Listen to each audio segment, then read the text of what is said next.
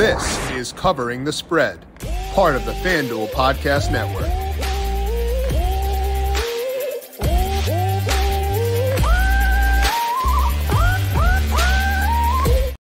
The 2023 Kentucky Derby is coming up on Saturday. The post draw has been conducted. We are ready for the running of this year's race. Here to break things down for us here today is Christina Blacker of FanDuel TV. We're going to pick her brain on her horse racing process and her read on this year's field. Welcome on into covering the spread. That's right here on the FanDuel Podcast Network and NumberFire.com. My name is Jim Sannes. I am a senior writer and analyst for NumberFire, joined here as mentioned by Christina Blacker. You can find her on Twitter at Christina FDTV. She is a horse racing analyst and reporter for FanDuel TV. And you are live on site. How are you doing today? I am doing really well. Thanks for having me on the show. Definitely appreciate joining you and just being able to talk about the sport that I love. I've been living and breathing horse racing since I was a little kid. My dad was a jockey. I grew up around horses. I've always loved this sport and it's never more exciting than this week and these couple days leading up to the Kentucky Derby. There's no place else I'd rather be than right here at Churchill Downs. Well, I'm jealous because you are there, as you mentioned on site. You're sitting outside. It looks gorgeous out there. So I'm jealous right now, and we're going to talk about this year's field. We'll break down your overall process to get your read on if people want to dive into this, you know, do their own research and stuff like that and more in just one second. But first, a reminder to make sure you're subscribed to Covering the Spread to get these podcasts as they go live each and every weekday. We broke down the Wells Fargo Championship for PGA uh, earlier today with Brandon Gdula. We have some UCL thoughts coming up later on, EPL as always, NBA, MLB, all in the same place. So search for Covering the Spread wherever you get your podcasts, and you can check us out over on the FanDuel YouTube page. Speaking of Saturday, the biggest horse race of the year is here,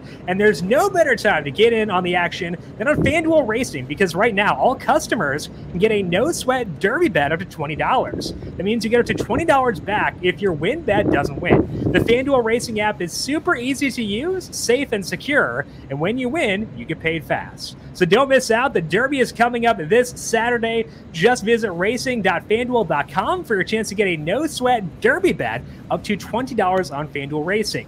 That's racing.fanduel.com. Age and location restrictions apply. Uh, offer valid on first Derby win wager. Refund issued in non withdrawable racing site credit that expires on June 12, 2023. Restrictions apply. See terms at racing.fanduel.com. Gambling problem? Call 1 800 Gambler. Now, before I dig into this year's Derby, Christina, I want to talk about your process and how you arrive at a bet. So, what steps do you take personally before you are placing a bet on a race when you're researching these things? So there's a lot of different data and there are a lot of different websites available if you're going to start handicapping horses. And I will say it's kind of like a muscle. Like you have to work it to get better at it. And I think initially handicapping can be a little bit intimidating, but once you start learning and once you pick up a few angles that you really like and can follow or even just some trainers that you really have success with, some jockeys that are high percentage, you know, that's a great way to first get into the game and to sort of decide what your own process is going to be. For me now, I look at a lot of different things. Of course, I use the racing form. I use Race Lens quite a bit, which is a product that Equibase puts out. You can pre-populate certain angles that you like and then save them and the product itself will back test those angles for percentages for you and then it will also search ahead so I have all these angles that I really like in terms of horse racing, and Race Lens will tell me, hey, by the way, there's a horse in race seven at Tampa today that fits your profile. Take a look. And so I love that product because I've put the time into it, and then it now is doing the work for me in some ways. I watch a lot of replays. I think that that is the most valuable thing you can do with horse racing. And that's another thing that takes some time. You have to watch them, you have to learn from them. There's a great website called TripNote Pros. TripNote Pros breaks down replays for you in like a little blurb and a paragraph. So if you're new to racing and you want to learn, A, they're kind of like cliff notes, I would say. That'll give you the info if you don't have the time. But if you're trying to learn, you can watch replays and then read what these experts say and take that information and see if you've kind of pulled the same thing from watching the replays. And then I'd say the third product that I rely the most heavily on is Thorograph, which is a speed figure. They've basically boiled the entire performance and the contributing factors involved, whether it would be the wind that you can clearly see we have right now, whether it is uh, a horse that has lost a lot of ground, like a wide trip, they account for that sort of thing. And it all boils down to one number. And the key with Thoro-Graph is the lower the number, the better the performance. But it's on a graph, and want to see how this horse is trending. You want to see if they're trending towards a lower number, meaning a faster race. And so I will copy that information into my racing form all the time. I use all of those things and I pull them all together before I make my decision. But there are, as I said, more straightforward ways if you don't have the time to invest. And this week in particular is a little bit more different because you know, we're focusing on these 20 horses for the Derby. And right. so we know everything about these horses. I've been here watching them train every single morning. It's impossible for me to watch every horse train on a random Saturday if I'm, you know, working a 10 race card and there's 100 horses. But for these 20, I'm going to take that next step. I'm going to watch them train and I want to know who I think physically looks like they're ready to run their best race and mentally who is focused because the Kentucky Derby is an experience like no other for a horse. You cannot prepare for that level of crowd, excitement, energy, noise. You need a horse that is kind of a professional themselves. Like one of those athletes that walks in like they own the joint, you need a horse that has that to win the Derby. Now, for you, how much does the Derby differ then, given that it sounds like you're a very data driven person? How much does the data influence your Derby specific bets, and how much is it eye test when you're on the ground? You can see these horses up close. So, I will say this I, I I'm going to start with the data. That's yeah. where I'm going to start and try to find, you know, my horse or my group of horses that I think can win. But then my eye test can talk me off a horse. Sure. Because I'm looking on paper and they're not machines and they're not right. necessarily going to do exactly what you think they're going to do on paper. So I will then use the physical as that second confirmation of, okay, yeah, that horse's coat looks good, that horse's energy looks good, that horse looks really well defined, has a lot of muscle tone right now. Mm. Whereas you see some horses and really their their coat tells you a lot about them. Uh, if their coat looks a little dull if they're not kind of shining out there in the sun it's an external reflection of their internal health. So okay. i will let a physical appearance talk me off a horse in that way. Can you let physical appearance talk you into a horse you are borderline on, or is it yeah. more so process of elimination for you? Yes, sometimes you can, and I'll do this, just mm-hmm. make a blind swing on physical sure. appearance because there are times when I'll be at the racetrack and maybe I didn't see something on paper, and there's so many things going on with the health of the horse that I don't know. You know, I'm right, not their sure. trainer, I'm not sure. watching them every single day. But if there's a horse that strikes you and you're thinking, wow, that horse looks really good, that horse is really carrying themselves with a lot of class, then for a price, if it's a 10 to 1, you know, big price, then I'm definitely willing to take sure. a swing on a physical like that.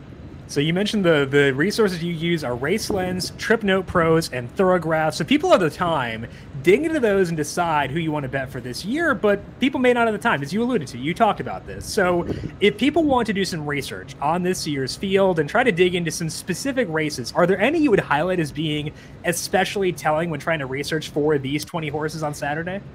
Well, first of all, on our app, on FanDuel TV Plus, yeah. we have a ton of segments that are basically us telling you this information. So I've interviewed these trainers, those interviews are up there. We've analyzed their final works as a team, and that analysis is up there on FanDuel TV Plus. All of the replays from the biggest Derby prep races are right there. So you can absolutely use our over the top platform as one of those resources. But then on top of that, Thoro-Graph has an analysis sheet just start there if it sounds too overwhelming. Trip Note Pros, as I said, is like a Cliff's Notes. Start there.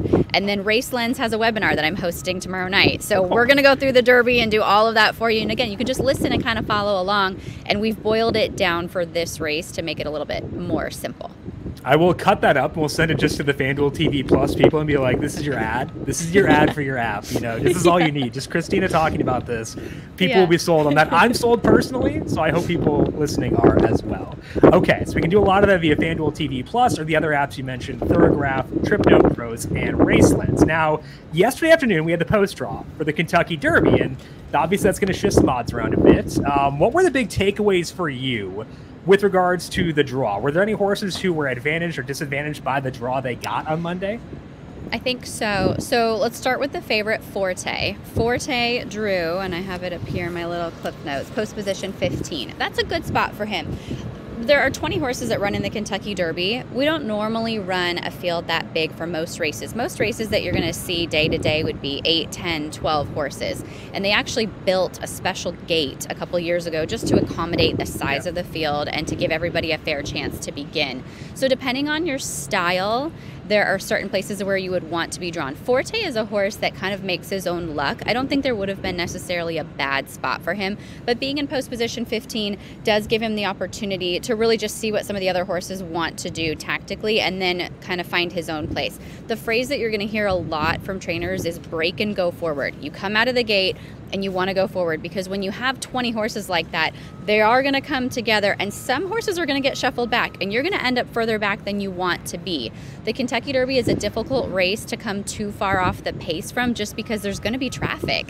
And if you don't have a very agile and athletic horse that can kind of stop and start and accelerate and slow down and be very responsive to their rider, you'll end up with trouble. So Forte, I think, ended up in a good spot. There's a couple horses that I think the post position isn't going to be helpful to their style. One of them is a horse by the name of Verifying. He drew post position two.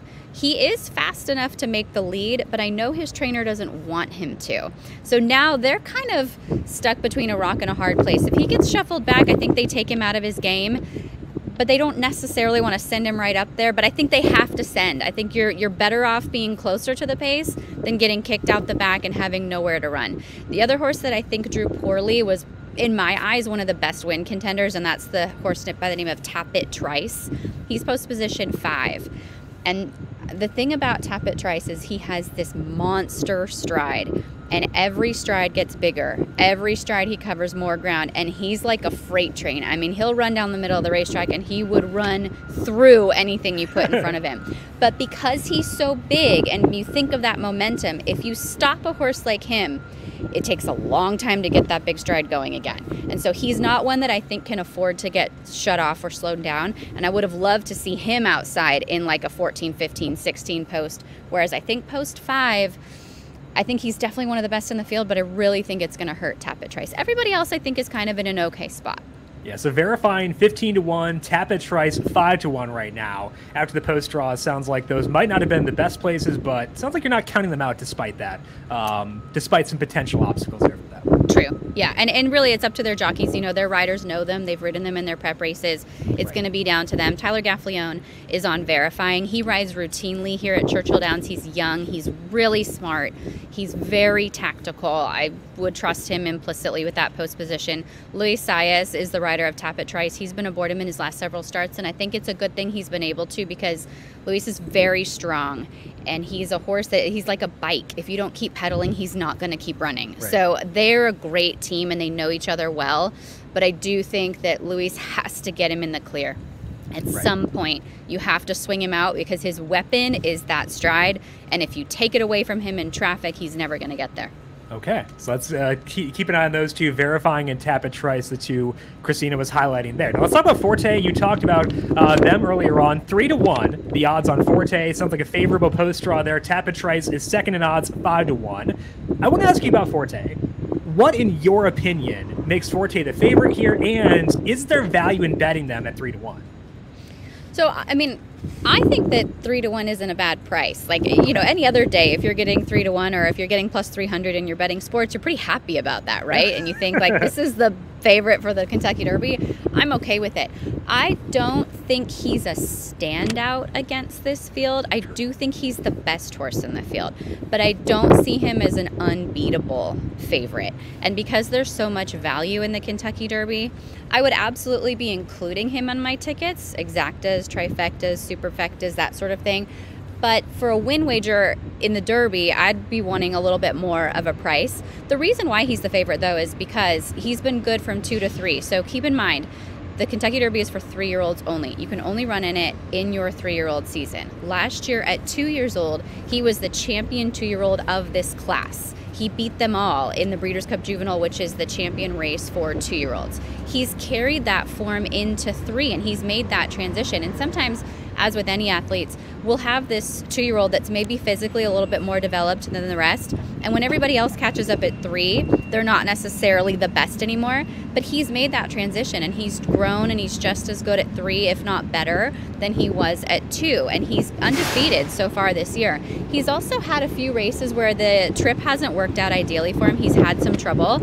And he's just a, an athlete, he's a gamer. He doesn't get stopped and he doesn't really let traffic upset him to the point that he's not going to re-rally. Just when you think he's sort of oh god there's no way he can get himself out of that. He does. He's i, I called him the um, patrick mahomes of horse racing. Like when you think it's over it's not over. Forte finds a way to win. And that's why i love him and that's why i think he's a deserving favorite. And if he is your horse i can't talk you off of him. But i do think that numbers wise he's not like a huge standout over this group and it sounds like if that's your view, there is viability to bet some other horses in this race. Yeah. So beyond Forte, we got a lot of options. Where do you see the best value in the field to win Saturday's Kentucky Derby? So the horse that I think I'm going to end up selecting is Angel of Empire. He's drawn post position number 14. His rider is Flavien Prat, who is a French rider, but he's been here in the States for a long time. He was a leading rider in California for, for ages. The thing I like about Angel of Empire, and I talked about those thorograph figures, he has a perfect page. His thorograph looks like he's going to run his career best race this weekend.